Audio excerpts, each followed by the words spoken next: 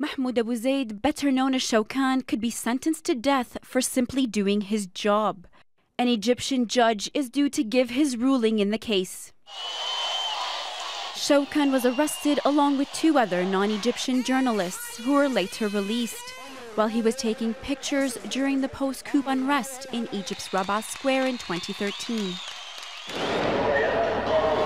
He was among hundreds of people detained when Egyptian security forces were ordered by General Abdel Fattah al Sisi, now the president, to end the six week sit in.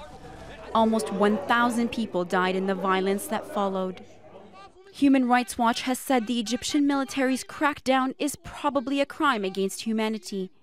According to court documents, Shawkan is being charged with weapons possession, illegal assembly, murder, and attempted murder.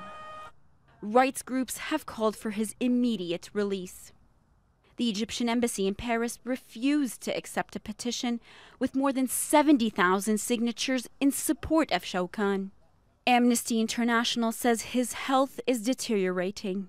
Très concrètement, on demande la libération de Shawkan. We demand that all charges against him are dropped. We demand that the Egyptian government stops the suppression of human rights defenders who are being silenced simply because they criticize Egyptian authorities. He's been diagnosed with malnutrition, anemia, and depression. He's written a letter from his prison cell outlining the abuses he's faced and how journalism in Egypt has become a crime. There are 13 journalists facing life imprisonment or the death sentence. On Saturday, Shawkan will learn his fate. Dayana Karim, Al Jazeera.